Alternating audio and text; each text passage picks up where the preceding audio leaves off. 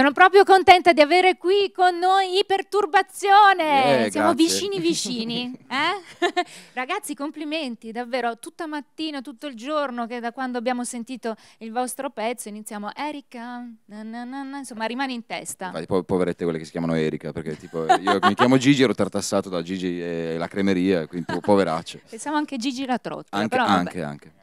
Amoroso. Eh, Gigi l'amoroso. È vero. Com'è andata l'emozione prima volta all'Ariston? Ma eh, personalmente pe- pensavo peggio, pensavo molto peggio, invece era la, la mm, grinta, la voglia di spaccare tutto ha, vinto. Anche perché avete un maestro d'orchestra, Andrea Miro, che è coinvolgente quanto voi sul palco. Assolutamente un carro armato, è una sicurezza. Tra le due canzoni siete contenti di questo esito oppure insomma, Siamo divisi all'interno, insomma siamo tanti e pluralità di opinioni. ecco. è 15 anni che siete sulla scena indipendente, che fate musica insieme, è 6 anni che tentate di entrare eh, al Festival di Sanremo e questa canzone quando è nata? Come è nata? In realtà la canzone nasce circa due anni fa ed era una canzone che volevamo inserire all'interno del nostro disco che uscì poi ad aprile del, del- del 2013 e avevamo delle remore su, questo- su questa canzone perché avevamo pa- la paura che fosse un pochettino fraintesa, visto che c'è una galleria eh, di personaggi femminili.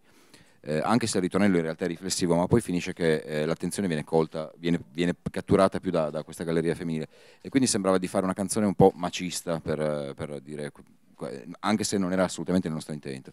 Per cui l'abbiamo messa da parte, ma in fondo a tutti dispiaceva che non fosse finita sul disco. Ed è stato un bene perché quando l'abbiamo presentata al festival eh, ha funzionato. Eh sì, perché poi avete fatto una nuova eh, riedizione no, del vostro album che è Musica X con all'interno proprio queste due canzoni sanremesi, ma ci sono tantissime collaborazioni in questo album da Luca Carboni ad Erika Mu. Sì, addirittura i cani, che sono Eh. una band romana, ma purtroppo ancora poco conosciuta, ma secondo me prima o poi potranno farlo sentire perché sono molto bravi.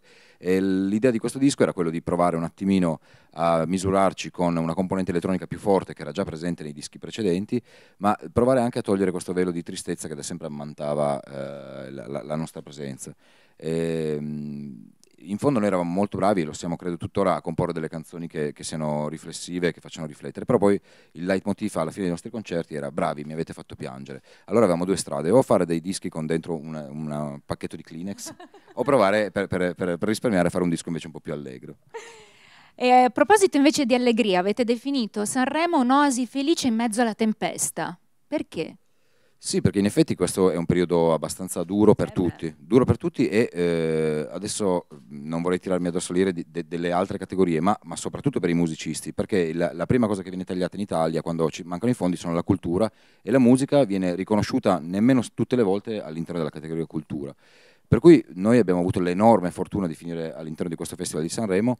Se non fosse successo, probabilmente saremmo a- domandarci e a lamentarci, come facciamo di solito, eh, sul fatto che c'è poco spazio in Italia per la musica. E quindi non vorremmo dimenticarci eh, del fatto che ad un certo punto per noi si è aperta una porta laterale, una sliding doors e siamo finiti al festival, perché se non fosse successo saremmo rimasti quelli, quelli di sempre, non da un punto di vista emotivo e che adesso ci siamo gasati, ma dal punto di vista della difficoltà quotidiana di avere a che fare con un mondo come quello musicale. Invece per quel che riguarda Sanremo, questo eh, giro continuo di interviste, di essere sotto riflettori, oltre che essere sul palco, come la state Ma vivendo? senti come siamo spigliati. Eh, Eh, infatti, siamo- siamo meravigliosi. Adesso posso farti un trattato di botanica, ma lo sa meglio lui.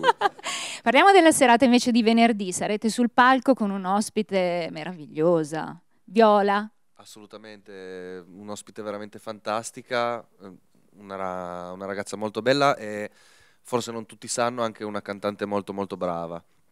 E, che dire? Com'è andata durante le prove? Vi siete trovati subito in sintonia? Ma devo dire sì, sì, sì, assolutamente, siamo rimasti colpiti molto, in maniera molto positiva perché lei comunque è arrivata subito pronta, subito preparata, grande, veramente grande.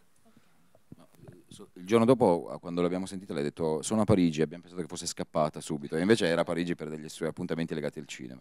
Quindi tra quello e poi la maternità eh, di Viola, Violante Placido, per chi non la conoscesse nell'ambito musicale si fa chiamare così, e quindi davvero ha trovato, ha fatto di tutto e di più per essere sul palco venerdì con voi. Assolutamente, e poi fortunatamente noi condividiamo con lei il fatto di aver avuto dei figli, tranne, tranne Alex che penso che colmerà presto questa sua mancanza, non so, annunciamo qui, non è vero, e, ehm, e quindi eh, cioè, siamo assolutamente solidali perché eh, la vita di tutti i giorni va avanti, ma se hai un, un figlio o una figlia, eh, gli altri richiedono da te che tu sia sempre presente sul pezzo quando invece hai un sacco di cose da fare. E questo è un problema che riguarda moltissimo anche le donne, peraltro, a cui viene richiesta sempre la freschezza, la bellezza, l'istantaneità e ci sono dei momenti della vita di una donna in cui invece avresti eh, bisogno che il mondo giri per te invece di te girare per il mondo. Ragazzi, concludiamo in maniera quasi marzulliana.